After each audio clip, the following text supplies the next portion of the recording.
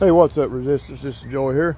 This is uh, part two of the uh, video on our uh, number one vacation project. And this is uh, what we got done. Uh, got the rock put up, the retaining wall. Uh, we freshened up the soil and put some uh, sweet potatoes in here.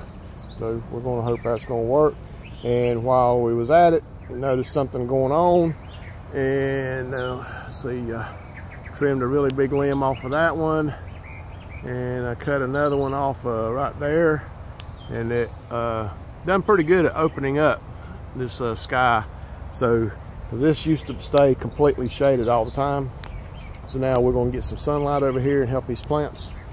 Uh, sweet potatoes is one thing that you can go full sun or you can have partial shade and stuff uh, from my understanding, they do good either way.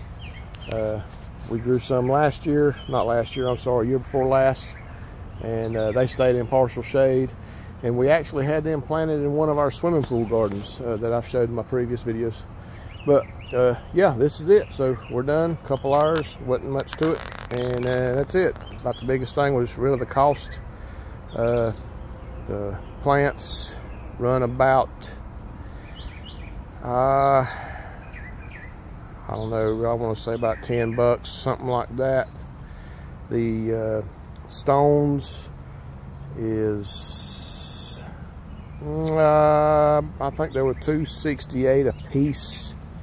So when we've got like 38, maybe 40 there, um, we found a sale on some uh, topsoil. We got two cubic yard bags uh, they run four dollars and something a piece. That's really not bad. And no, I don't care about the quality of the topsoil itself because when you're like us, we got chickens and ducks. We have loads of manure that we can put into this soil and really help it out. So uh, we don't need a Miracle-Gro here. So we, we can make our own. Uh, but that's it for this project, y'all.